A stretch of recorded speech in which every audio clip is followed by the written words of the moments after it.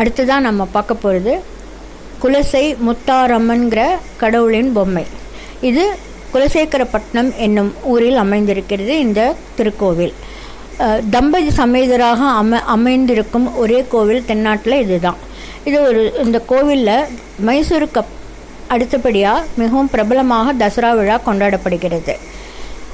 இந்த கோவிலின் தனிப்பட்ட நேச்சை என்னவென்றால் கடவுளர்களின் உருவங்களைப் போல வேடம் போட்டுக்கொள்வதுதான் இதன் தனி சிறப்பு. கடும் விரதம் இருந்து பக்தர்கள் தங்களுக்கு பிடித்த கடவுளர்களின் வேடங்களை போட்டுக்கொண்டு அம்மனை வந்து தரிசனம் பண்ண வருவாங்க.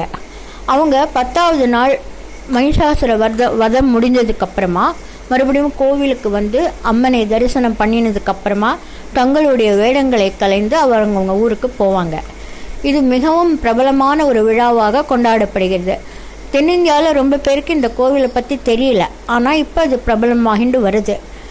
எல்லாரும் ஒரு தடவை இந்த கோவிலுக்கு போய் இந்த தசரா விழாவில் கலந்து கொள்ள முடியாவிட்டாலும் மற்ற நாட்களில் கிடைக்கும்போது அவங்கவுங்க இந்த கோவிலுக்கு போய் தரிசனம் பண்ணணுங்கிறது என்னுடைய விருப்பம்.